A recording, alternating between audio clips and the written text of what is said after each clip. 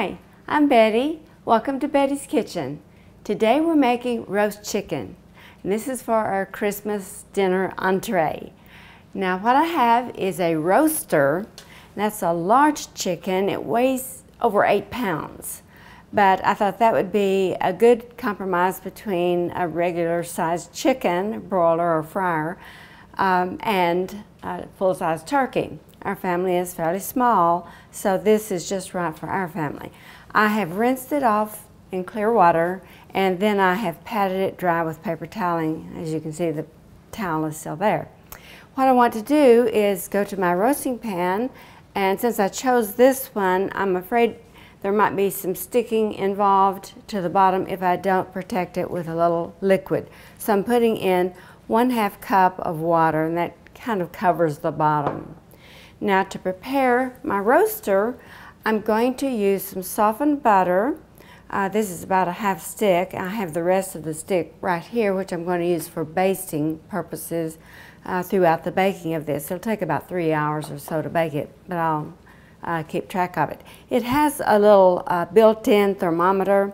Uh, those will pop out, but they're not absolutely trustworthy, so I'm going to be using a probe to see uh, what our temperature is. And generally you're looking for something like 165 degrees on the breast and in the uh, inner thigh, not touching a bone, it needs to be maybe 180 degrees. So we'll make sure that it's done. There should be no pink juice showing whatsoever. Well, I'm going to uh, put some butter on, on the top surface, on the back surface, inside, and then I'll be back to put some salt on it. I have buttered all sides and inside of it and also while I had a chance I salted the bottom side and the inner cavity.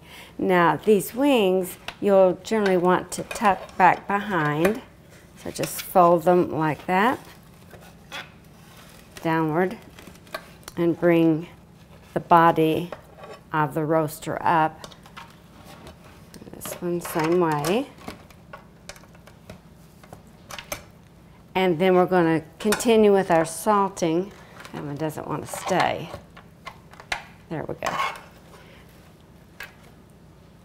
And I just have salt that I have taken out of a salt container uh, that I don't plan to mix with any other salt. So it's uh, going to be free of contamination and uh, will not contaminate anything else. So put a healthy amount of salt on because this needs to salt all the way down through the upper side and then we have salt on the bottom that will take care of the rest of it. And we have salt in the cavity and salt here on the wings. So I think we have it salted well. Now if you'd like to pepper it, that's fine. I just normally don't do that but that's a, just a personal preference.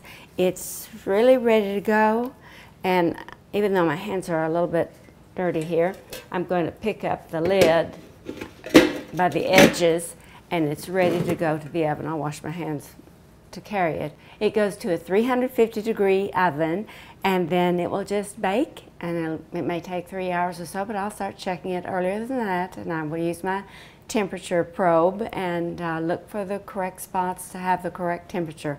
And at the end, toward the end, I'll probably remove the lid and let it brown off. It should be nice and golden. Our roaster is done. It took two and a half hours and it was testing done with the meat thermometer. And I did take uh, the lid off for the last half hour to give it this nice brown look on top.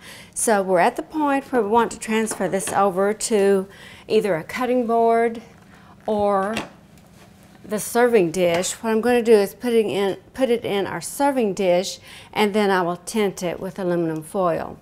So it's a matter of getting under this uh, far enough to get most of it. Now wings and things like that might fall off as we bring this across, but um, try to get underneath it. And if it's any little bit stuck, it's going to try to keep you from getting it all. And there goes one wing. But we'll go back and retrieve it. And then we have all this nice broth that we can use to make a gravy. So that's the other wing. We'll just stick it in there for the moment. And then the tinting is just taking a large piece of aluminum foil and fitting it loosely over the top. Now we'll let this sit for 10 minutes and then it will go directly to the table. We're not going to carve it out here. If you need um, a tutorial on carving, we have how to carve a turkey that Rick did a few years back. So it'd be the same thing on a roaster like this. So I uh, hope you enjoy this. I'm not taking a taste of it because it's going directly to our Christmas table.